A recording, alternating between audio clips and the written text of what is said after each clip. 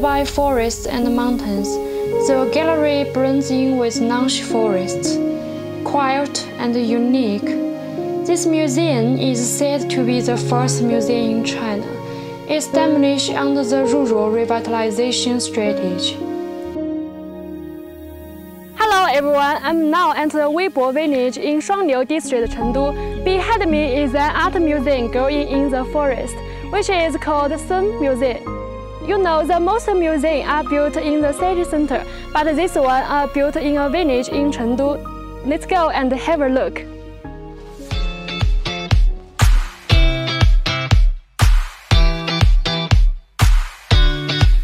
Today, we have invited the director of Sen Museum, Miss Yuan, and she will take us on a tour of this museum.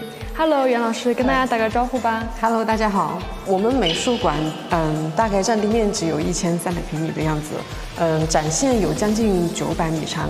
然后本次展览呢是川渝两地二十位艺术家，嗯，参展。Reading Southwest China. Sun Museum devotes itself to creating an art museum far from city, and close to nature with an open attitude. In this museum, about 112 pieces of works from 20 artists, including He Duoning and Pang Maokun, are displayed.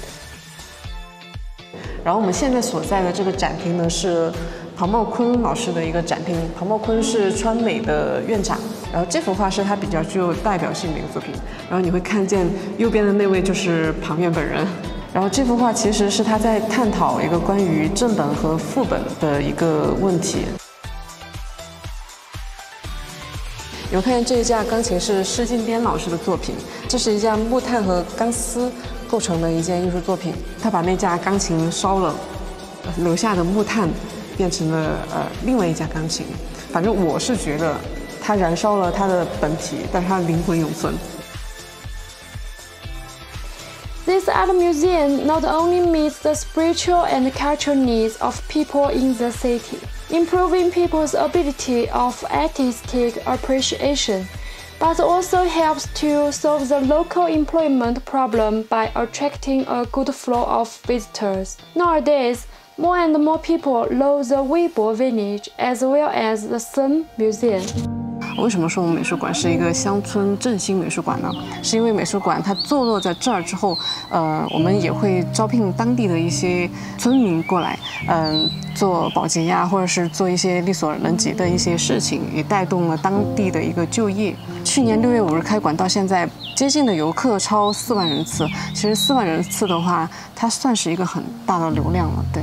然后流量进来之后，带动这边的一个消费，那肯定是没问题的。比如说，我们这个地方招了一些保洁工，也是当地的。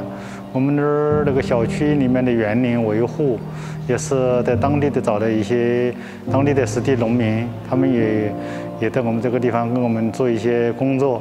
在小红书上面看到这个馆儿嘛，然后挺好看的，也想过来打个卡，然后拍拍美丽的照片什么的。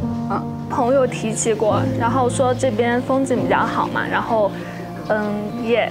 过来看一下，就是前辈的作品，本来就是学美术专业的。